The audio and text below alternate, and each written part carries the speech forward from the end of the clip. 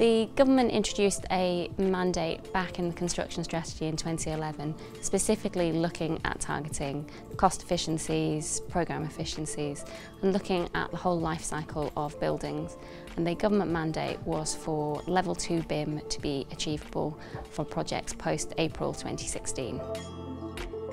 BIM is 3D modelling plus behavioural changes and process development, which allows people to better understand the project right from the design process through construction and into operation of an asset.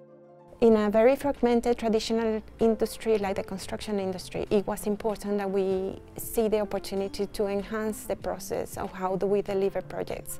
The silo culture needed to end. The biggest challenge about implementing BIM is that we have many different organisations and parties involved that all have to collaborate and exchange data. And so you have to get everyone signed up to the same processes and the same understanding of what good looks like.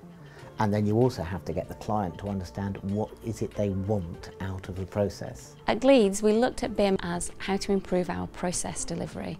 And our starting point was, if this is a project that we are managing on behalf of a client, how do we get the best briefing for them? How do we best get them to understand their project? And how do we reduce their risk? We put work into the research and development as to how we could create toolkits to help our own people to upskill them and to ultimately upskill our clients so they could understand level 2 BIM and the benefits of it for their projects. So this is the landing page that when you come and first look at Frame and it explains all of the processes around it and that's the position where you could come and get access to the project initially.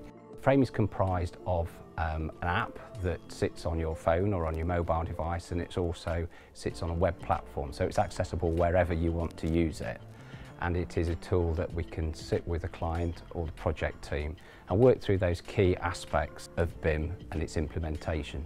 So just running through briefly to show you some of the highlights. This is the dashboard that shows you what is the progress of each of the projects, how the project team are undertaking their tasks and we split it into briefing stage, right.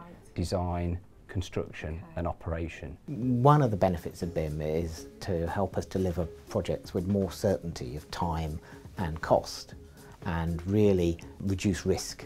And an app like Frame, which is developed by Gleeds, will give us more clarity of what's been delivered within the BIM context and allow you know, quite a detailed level of tasks to be understood.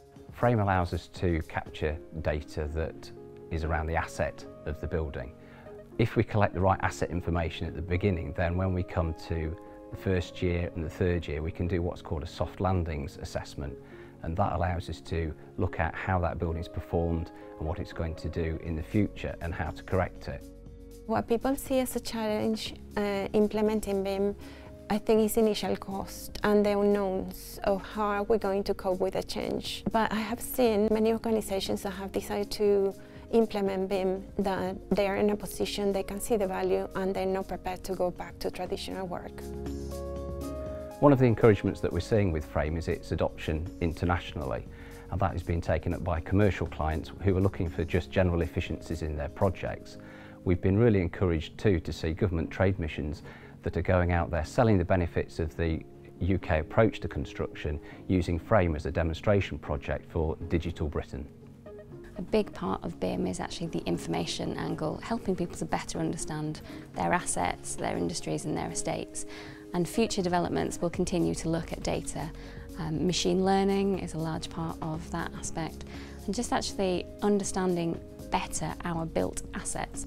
Interestingly, construction is the second least digitalised industry in the UK and the opportunities as we move forward to make the most of that data to drive efficiencies is going to be a really exciting part of the construction industry.